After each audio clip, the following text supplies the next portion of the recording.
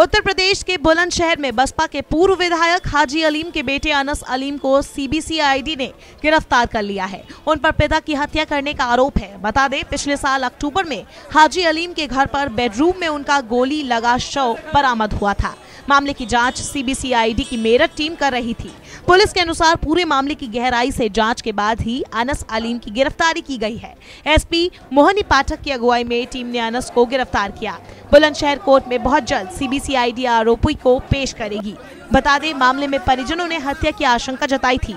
यही नहीं, खुद अनस ने भी हाजी अलीम की मौत पर शंका ज़ाहिर की थी। वही अनस ने अपने चाचा पर गंभीर आरोप लगाए हैं। उसका कहना है कि चाचा यूनुस ने सीबीसीआईडी को पैसे खिलाए हैं। पैसे खाए सीबीसीआईडी ने। सीबीसीआईडी ने पैसे खाए हैं। परसों तक भी मेरे पास सबूत है।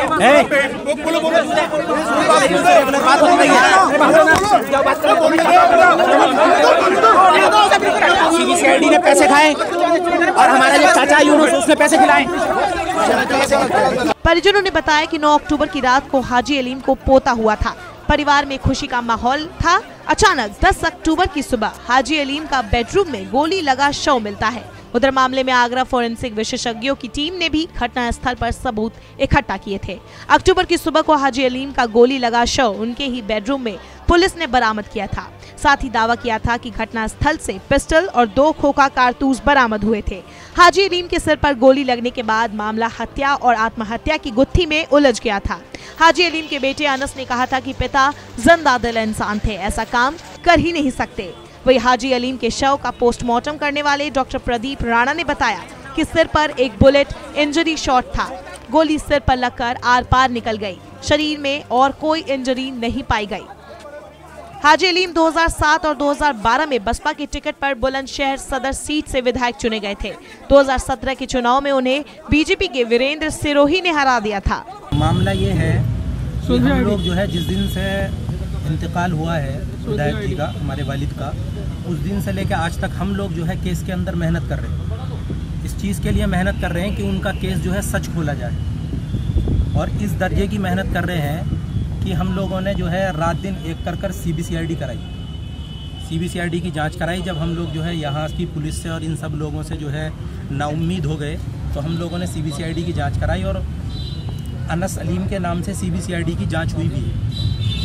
और परमानेंट जो है अनस उसकी जो है पैरोकारी कर रहा था। यहाँ से लेकर लखनऊ तक और मेरठ तक और परमानेंट उन लोगों को सहयोग कर रहा था जो टीम बुलंदशहर आ रही थी। और उन लोगों को जो है इस तरह सपोर्ट कर रहे थे कि हर चीज़ के बारे में उनको जानकारी दी जा रही थी, बल्कि अपने घर पर उनको जो भी उन्होंने इंक्वायरी की, उनके कमरे में जाना और सारी चीज़ें, वो सब हमने उनको कराया। और अनस उनके साथ हर जगह सहयोग करता रहा और सी जो है, वो इस चीज़ का आश्वासन हमें देती रही बार बार कि आप लोग मेहनत कर रहे हो हम लोग जो है सच केस खोलेंगे। तो सच केस खोलेंगे। अनस को फंसाने का मामला ये है कि इसके अंदर जो मेरे वालिद का कत्ल हुआ उसके अंदर भी राजनीति है। और जो अब ये फंसाया गया है ये हाजी यूनुस का काम है। हाजी यूनुस। जो है मेरा चाचा है और विधायक हाजी अलीम साहब का भाई है। ये उसका काम है उसी ने उनको फंसाया है क्योंकि उसको ये बात नहीं झिल रही है कि हमारी प्रॉपर्टीज़ पे उसने कब्ज़ा किया हुआ है। हमारी फैक्ट्री पर उसने कब्ज़ा किया हुआ है। और शहर के अंदर, जहाँ वो जाता है, वहाँ उसे इस चीज़ का सामना होता है कि हम हाजी अलीम की औलाद हैं। उसे ये बात नहीं झिलती हमसे कहीं पर भी। हम उससे हर चीज़ का सवाल करते हैं, अपनी प्रॉपर्टी का सवाल करते हैं, अपनी फैक्ट्री का सवाल करते हैं, और उससे हर चीज़ का हम सवाल करते हैं। तो उसको ये बात नहीं झिलती। जब ये उपचुनाव का मसला आया तो उसको हर जगह पे ये कहा गया कि तुम अपने परिवार से समझौता कर लो। इस बात पर क्योंकि वो जो है सुलह नहीं करना चाहता। इसलिए उस, उसने सी से बात कर कर उनको जो है पैसे देकर और अनस का नाम लिखवाया। क्योंकि खुद सी वालों ने ये कहा कि तुम्हें बुलाया तो तुम मत आना अच्छा क्या लग रहा है किसने करी? ऐसा है हत्या किया हत्या तो की है शारिब ने और करवाई है हाजी यूनुस ने जो चाचा है मेरा। शारिब है?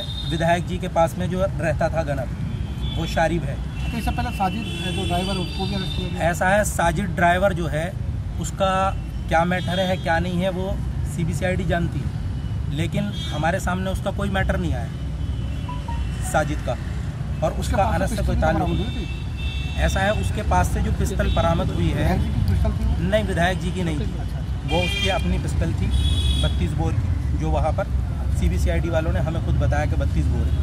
क्या डिमांड करना चाहते हैं? सरकार से क्या हैं? सरकार से ये डिमांड करना चाहते हैं कि नार्को टेस्ट की हम लोगों ने अपील की हुई है हाई कोर्ट में कि हम सबके नार्को टेस्ट कराए जाएँ, जिसमें हाजी यूनुस भी शामिल हो और हम लोग भी शामिल हों। उसमें पोलीग्राफ टेस्ट है और नार्को टेस्ट है, मैं अपने नाम से इलाहाबाद में लगा कर आया हूँ। मैं चाहता हूँ कि वो जो है दोनों टेस्ट कराए जाएँ और निष्पक्ष जाँच हो इसकी।